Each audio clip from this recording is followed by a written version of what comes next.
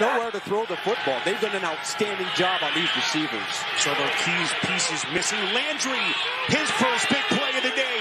Landry breaking tackles. Finds the free agent acquisition coming over from Baltimore in the offseason. Landry, little bubble screen action, has blockers, and he's inside the five.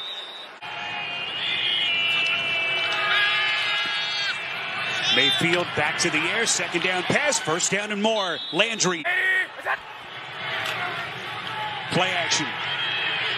Mayfield throwing the run, complete. And Bryant making an impact in the second half as well.